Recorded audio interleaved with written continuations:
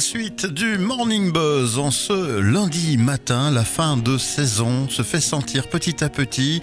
On a le plaisir de retrouver David du Carrefour des Réussites qui nous revient déjà avec lui bah, sa dernière chronique de la saison, une sorte de bilan de tout ce qui a pu être abordé comme sujet dans ce moment d'inspiration sur Buzz Radio. Bonjour David. Bonjour Bernard. Et oui, nous sommes à deux semaines de la fin de saison en radio pour Buzz Radio, mais voilà, tu n'es pas disponible la semaine prochaine, on peut le comprendre. Tu as fait un bon boulot avec nous et d'ailleurs on va maintenant en avoir un petit résumé avec toi.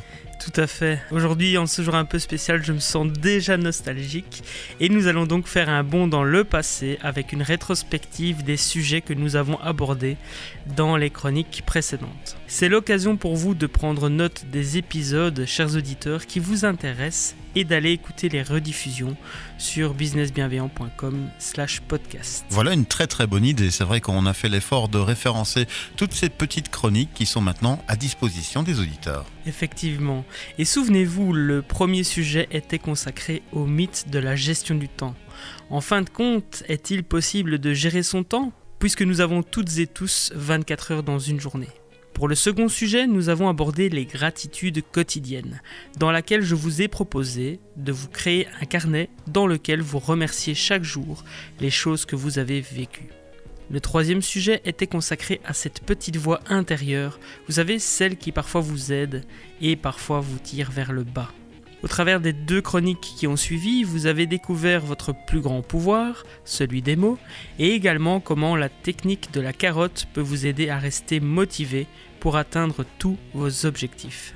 Dans la chronique intitulée Que sommes-nous prêts à faire pour notre confort et pour notre survie, je vous partageais à quel point il est parfois utile de penser à soi avant de penser aux autres. Et nous avons ensuite fêté ensemble la semaine de la courtoisie au volant avec une chronique consacrée à cette thématique qui me semble plus importante que jamais. Tout à fait.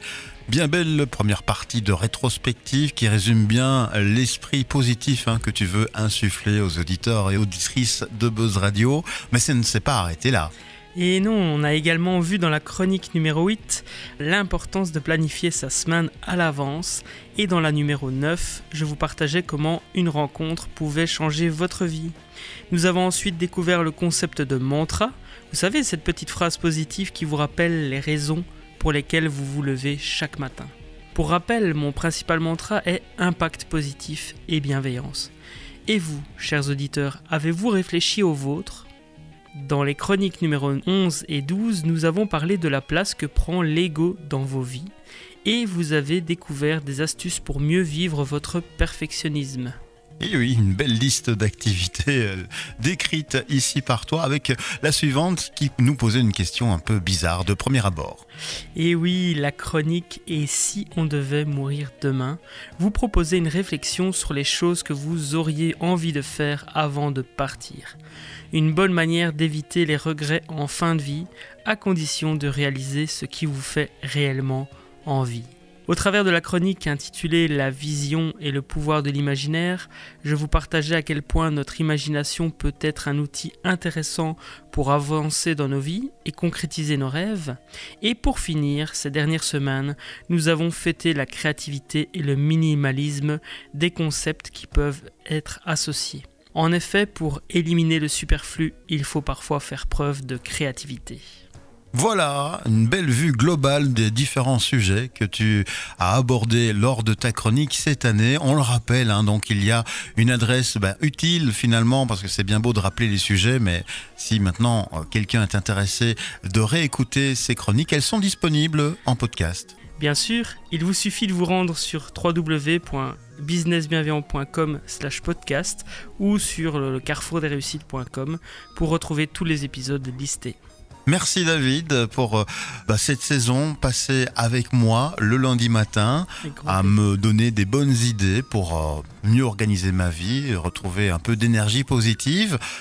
J'espère que tu vas passer d'agréables vacances. Ben, je vous le souhaite également. Je vais en passer des merveilleuses, j'en suis sûr. Est-ce qu'on te retrouve à la rentrée en septembre? Oui, vous allez me retrouver en septembre et je me réjouis de vous retrouver également, chers auditeurs. Ben voilà, on fera le point avec les auditeurs euh, sur les activités diverses chroniques qui seront disponibles pour la nouvelle saison radio que nous sommes déjà en train de préparer. Et oui, merci de faire partie de l'équipe, David.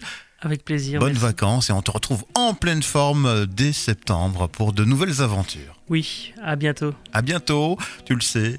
On ne change pas une équipe qui gagne, c'est la musique qui revient là tout de suite dans le Morning Buzz.